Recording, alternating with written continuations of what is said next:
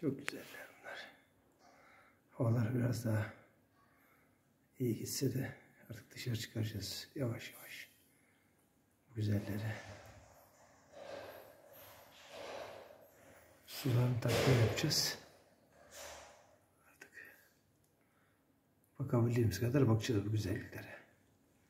Değil mi güzelim benim? Sağlıcakla kalın. Hadi bakalım. Öbür güzel de arkada. Evet onu da görüyorsunuz. Biraz çekingen. Mamalarını takviye yapacağız yukarıdan evden. Hadi bakalım. Yarın da yuvalarını düzeltiriz gelip. Hadi. Sağlıcakla kalın. Sen kalın.